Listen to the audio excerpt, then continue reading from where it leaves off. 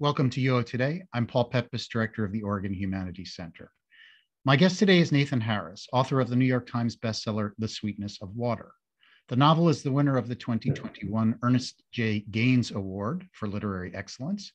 It was longlisted for the Man Booker Prize, the 2022 Carnegie Medal for Excellence, and the Center for Fiction's first novel prize. It was also named Best Book of the Year by Oprah Daily, NPR, The Washington Post, Time Magazine, the Boston Globe, Smithsonian Magazine, the Chicago Public Library, Book Browse, and the Oregonian, as well as the New York Times Book Review Editor's Choice. The Sweetness of Water was an Oprah's Book Club pick and one of President Obama's favorite books of 2021. Harris earned his BA in English from the University of Oregon in 2014. He was a recipient of the Creative Writing Program's Kidd Prize. Harris earned an MFA from the Michener Center for Writers at the University of Texas in Austin. On February 16, 2022, Harris will give a virtual reading as a guest of the University of Oregon's Creative Writing Program. Uh, thanks, Nathan, for coming on the show. It's great to have you. It's great to have you back, in a sense, at the University of Oregon. It's a pleasure to be here. Happy to talk with you. So first, um, tell you you are an Oregonian. Tell us a little bit about your background. Absolutely. I was I was born in Eugene actually. I only was there for a few years though, and then uh, grew up in Ashland, Oregon. So um, it you know whoever has been there, beautiful, beautiful little town, you know, idyllic, and I had I had a great upbringing there, and uh, I only you know I always planned to go to U of O, and I had a I had a wonderful time there. You know, I, I studied writing with uh, Jason Brown. Um, and learned a ton and spent a year in San Francisco. And that's when I got into the Michener Center, headed to Austin, and um, everything kind of just went from there.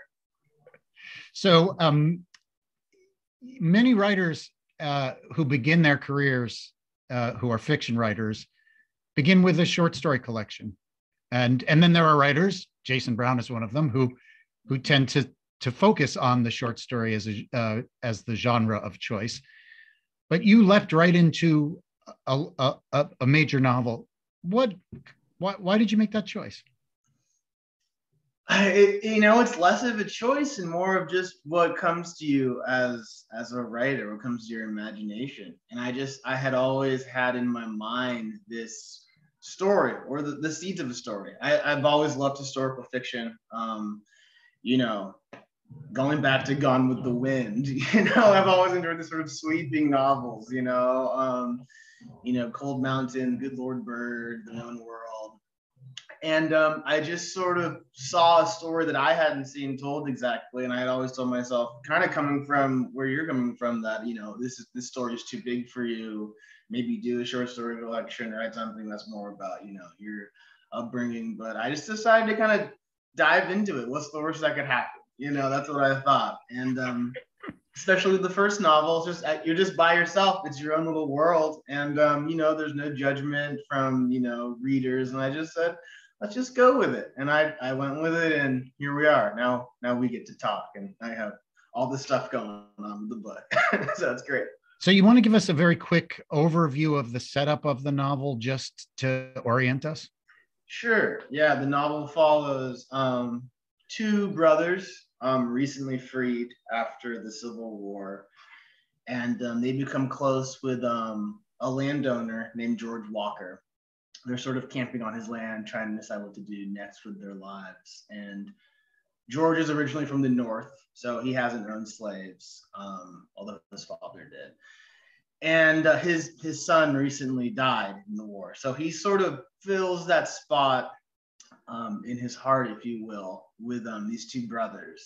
And he starts a peanut farm, sort of in his son's um, name. And they help him for a, a fair wage. And that relationship between George and Isabel, his wife, and the two brothers, and him treating them fairly will have significant repercussions on on the town. So uh, that's all I can give you. Just yeah, that's very that's very helpful. Thank you. So, as you've just made clear, you chose as the the novel's historical location the Reconstruction South. Can you tell us a little bit about why you you sited the book there in that place at that time? Multiple reasons. I mean, uh, on on just a story level, I mean that that's where that's where it came to me. You know, I, I had always when I was reading the oral histories of, of slaves that had been um, put down and freedmen. I mean, that was the spot where I was I was thinking, I wonder what that was like. Um, and it was sort of um, I guess thrilling in a sense on a craft level to sort of embody their minds and sort of have that um that that sense of what they must have been going through. Um, at the same time, it's, it's such a uh, tense period in history, and I think it sort of reflects, in a sense, even what we're going through now. Uh, you know, in terms of uh, you know, differences, you know, between the races, in terms of class, and just sort of this upheaval of, of how we um, view our nation and, and how we're all sort of engaging with one another. So there was some mirroring taking place there. And yeah, those are my reasons mostly. Did you do, I mean, you, you just implied you did, but you want to say a little bit, did you, do you have to do research for the novel? Yeah, yeah. I mean, I think so. I think you do have to do research, but you have to also give yourself space to just see where the story goes and that's just i think that's one of the most difficult parts of historical fiction is deciding where that line is i um, i often cite and I, I believe it's not true having um, spoken to others who know edward p jones but the story goes that i read once that he when writing the known world he spent i think like a decade researching the book and um, in order to write it, he just sat down one day and he threw it all away. And he just said, in order to write this, I need to just, I, I know what I know. And now I have to let the story just take place. And I kind of followed his lead there, whether it happened or not. And, you know, I just, I, I did the research I felt like I needed to do to get to the point where it all felt real. I felt like I could, you know, just um, have the confidence to um, follow whatever took place.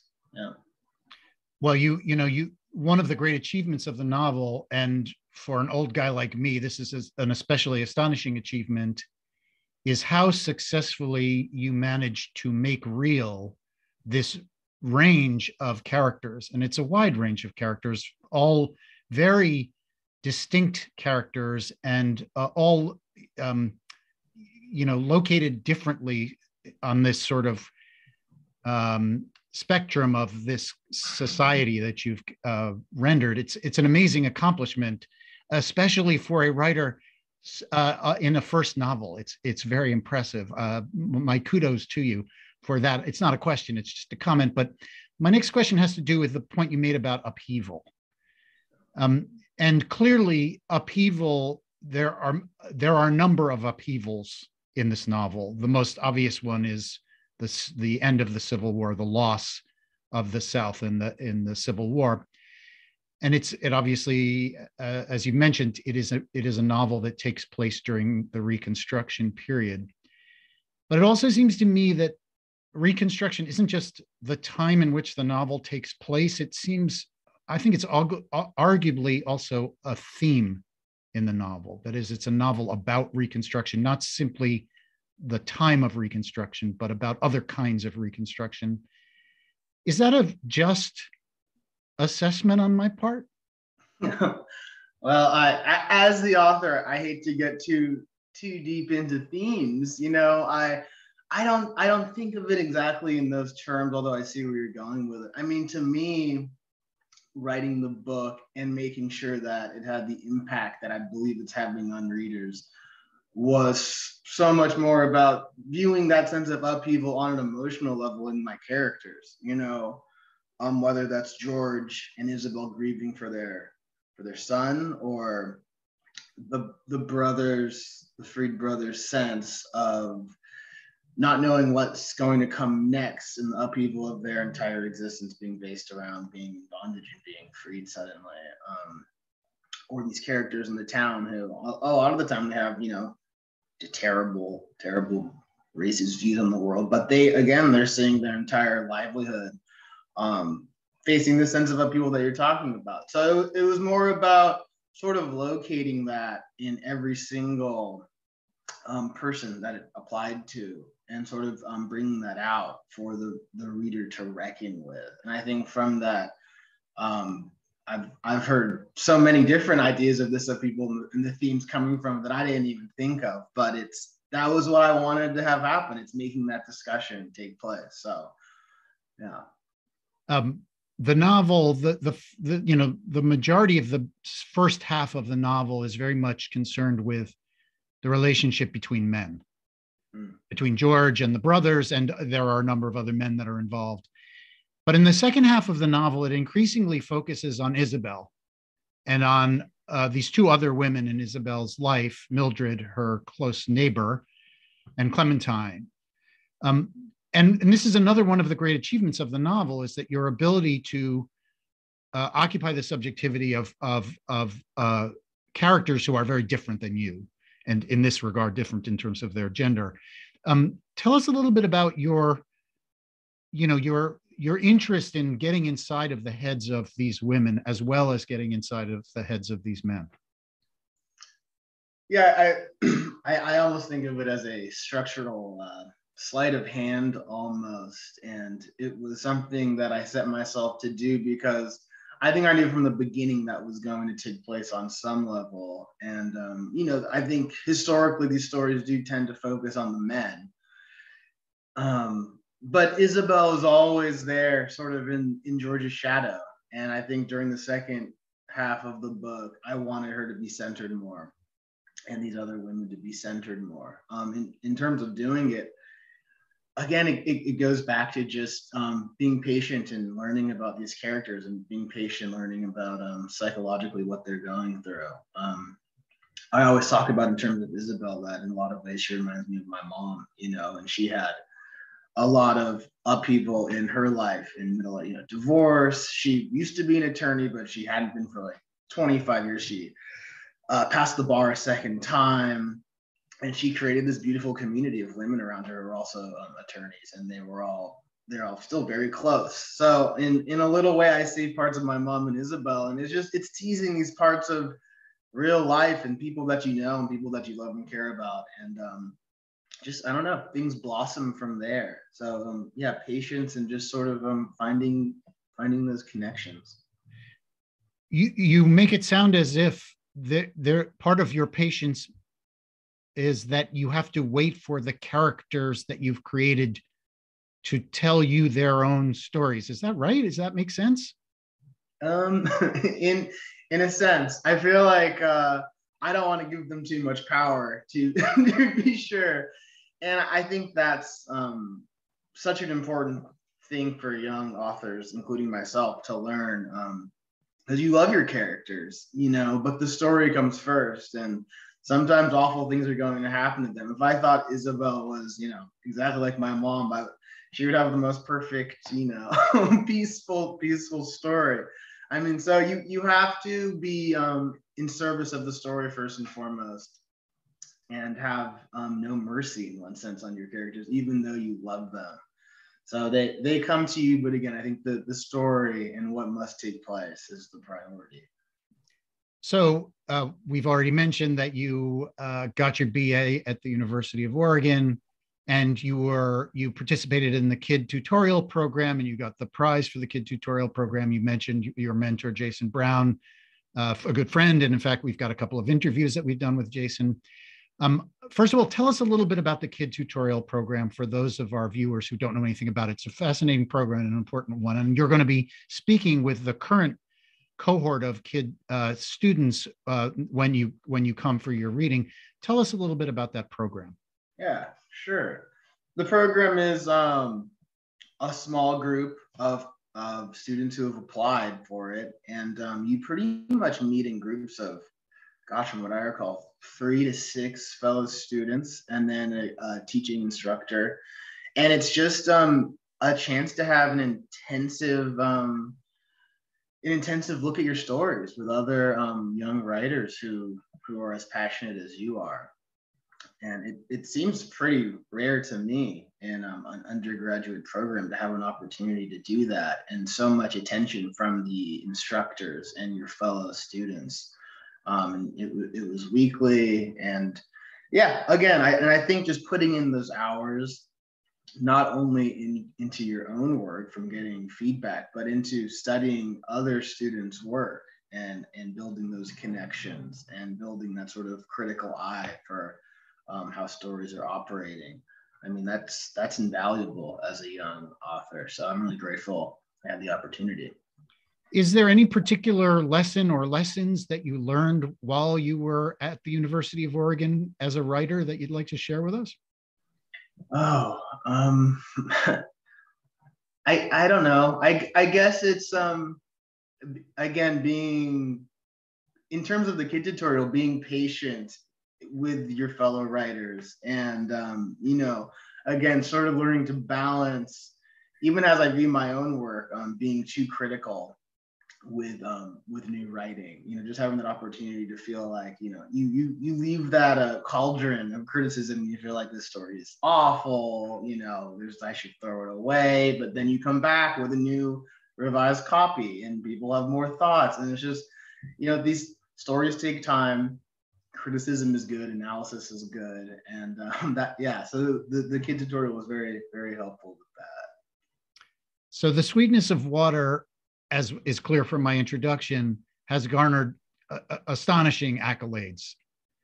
Um, what's that been like for you? I mean, here you are, you're the, you know, you're this guy from Oregon, you write your first novel, and suddenly, you know, you're getting interviewed by Oprah, and your uh, your book is on all these lists. What's that been like?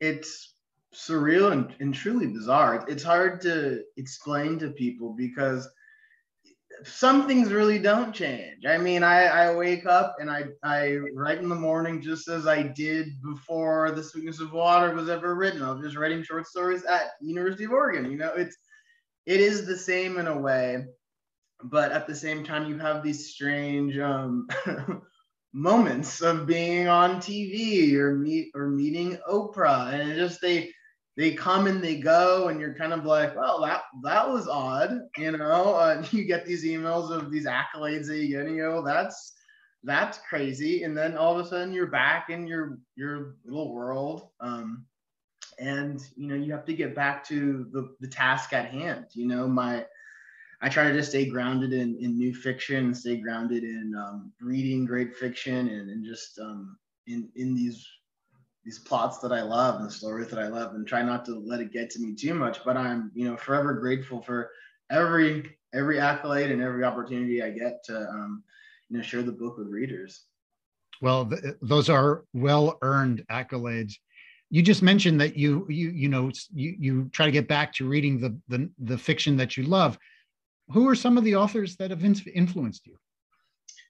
Ooh, yeah, so so many. Um, I like to Marilynne Robinson, uh, James McBride, uh, Colson Whitehead again, Edward P. Jones, um, Ishiguro. I mean, Remains of the Day is one of my my favorites. Um, there's so many, and for so many different reasons. I mean, James McBride, The Good Lord Bird, another great historical fiction uh, novel. You know, he has this lovely sense of humor. It's it's hilarious, and I think every every good book has to have some humor to it, even if it's subtle. Um, so I, you know, I, I love that. And then, you know, Colson Whitehead, just the variety of books he can write. Same with Ishiguro. I mean, there's they all offer different things, and you know, I just I love taking what I can and all the inspiration that I can for for my own writing. You mentioned um, Whitehead and Ishiguro, and their uh, you might even say compulsion to write in different genres. Mm-hmm. Is that something that interests you? I mean, have you thought about writing a a, a zombie novel or uh, you know, a sci-fi novel or something like that? Maybe, maybe not a zombie novel. Um, absolutely, it's um, you know, that's the next stage, and that's the sort of thing that you know gets me excited in the morning when I sit down at my you know at my computer. Is what can I do? What risk can I take? Will it be a, a terrible failure? You know, will I, I, I don't know. It's it's uh I, I just need the time to explore those avenues, and I certainly will. But um, you know, I'm sure there's going to be some dead ends that um, only I will know about. But you know, t- time will tell.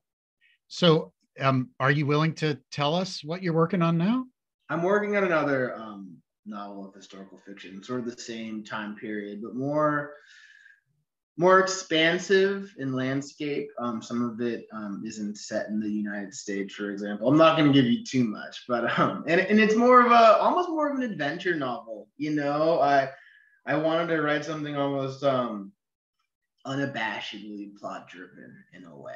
So I mean, there's there's there's sinking boats and there's you know double crossings and all sorts of fun stuff like that. So I mean, I think I think people will get a kick out of it, and you know, it's it's a bit more um, lighthearted in nature. Um, the sweetness of water is very cinematic uh, on its own terms, and it would, uh, you know, I think it would translate very easily to the screen. Have you been approached about that? Is that something that you've been thinking about, or other people have been thinking about? I've taken a few meetings with a few a few different directors and a few writers, and um, it's it's currently getting pitched around. Um, nothing nothing concrete, but again, when you look back on some of the best you know movies and TV shows that have come from books, sometimes the books are you know years old, and it's you know it's such a, a slow, long, arduous process. I think it's it's a bit of a trap as a as the novelist to get caught up in the in the film side of things because you need the producers, you need the director. So I, I, try not to think about it too much, but you know things are starting to build on that front, and um, I'm waiting myself to find out what will come of it. So you mentioned um, when we were speaking about Isabel, uh, uh, uh and you know you mentioned your your mother and building community, and you know one of the things that's fascinating about the book it's a book about uh, the legacy of slavery, but it's really focuses on racial reconciliation more than on violence, though you know that that that's a reality that, that's alive in the book. But in particular, in the role that Isabel plays in this process of reconciliation, reconcil- racial reconciliation, I'm thinking in particular about her relationship with Landry and also what where, where she goes towards at, at, at late in the novel. Say a little bit more about that, the importance of um, community and reconciliation in your view to the to the themes of this novel. Hmm. Um, well, I, I think it's at the core on some level of Isabel and George's character that that's what they want. Um, I would almost pivot though and also speak to the naivete of both of them in their attempts to do that. Um, I, I, don't want it to be overlooked. You know, George at his core, uh, he's a he is charitable in his way, but he's also acting out of selfishness. You know, he's acting this way partially because his son was lost to him. um, and Isabel, you know, she she wants sort of this um, to to follow George's legacy and have this return to normalcy and um, in a way. And I, so yeah, and it leads to a lot of consequences that are, um, you know, wide ranging for again the entire town.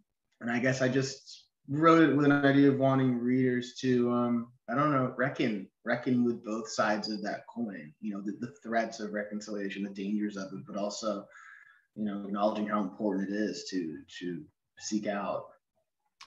Yeah that's really helpful. Thank you for for those words on that topic. Uh, i think related to you know you, you talk about this george's selfishness and uh, to be sure george is profoundly selfish in certain ways.